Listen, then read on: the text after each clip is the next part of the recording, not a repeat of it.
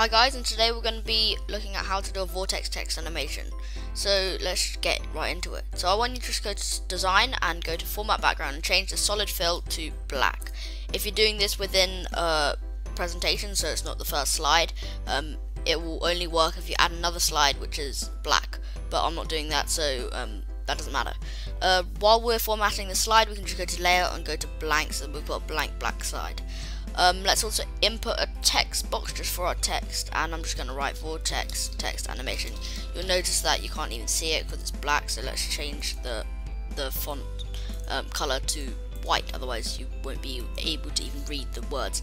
Let's change it to Arial Black because I like that font. You can put any font you like um, and we're just gonna I'm just gonna line it um, align it in shape format center and middle so it's right in the middle of the slide and then let's just make it bigger and then we can put it in the middle stretch it out a bit and line it up.